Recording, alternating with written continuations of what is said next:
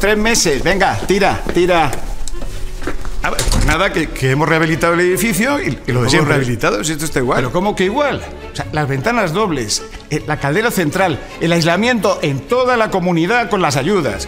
Y aquí el aire es súper eficiente. Ya, y habrás pedido el certificado de eficiencia energética, ¿no? Antes de la obra. Ah, estupendo, porque con el certificado así puedo alquilar. No, mejor, vender mi casa. Infórmate sobre la rehabilitación energética y sus ayudas y el certificado de eficiencia. Controlas tu energía. Gobierno de España.